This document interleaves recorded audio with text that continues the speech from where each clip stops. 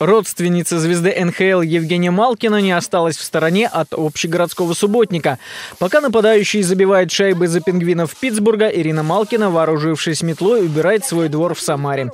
Команда единомышленников на Арцебушевской 3А собралась сплоченная. Дружно выйти на субботник никого уговаривать не пришлось.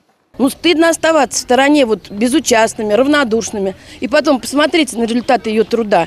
Нам, конечно, хочется ее поддержать, быть, ну, чтобы наш дом был лучшим, чтобы у нас люди общались, чтобы у нас наши дети играли.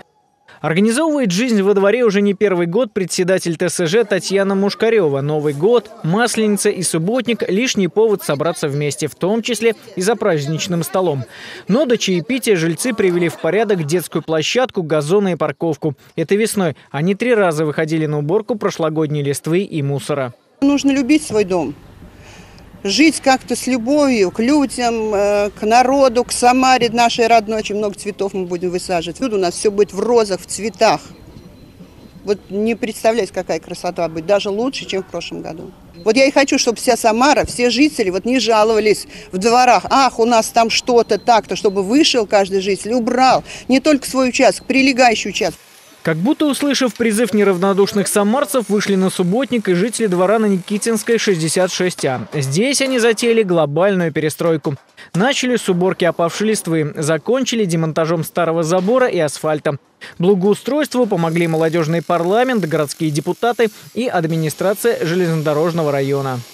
На этой территории раньше стояли гаражи, старые металлические гаражи, как бы незаконные. В прошлом году, соответственно, гаражи были убраны, решили сделать на этом месте красивый сквер. Скамеечек решили не делать, потому что это сопряжено, опять же, с тем, что люди будут отдыхать и нарушать покой жителей. Поэтому решили, что это будет просто прогулочная зона. Красивая прогулочная зона, которая будет радовать глаз и давать возможность здесь гулять.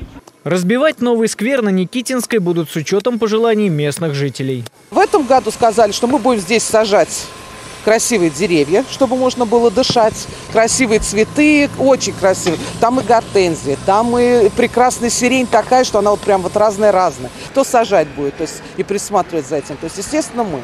Железнодорожный район убирали всем городом. Самый массовый субботник прошел в парке Щерса. Он, кстати, участник федеральной программы формирования комфортной городской среды. Проголосовать за этот объект с сегодняшнего дня жители Самары могут на сайте 63.городсреда.ру.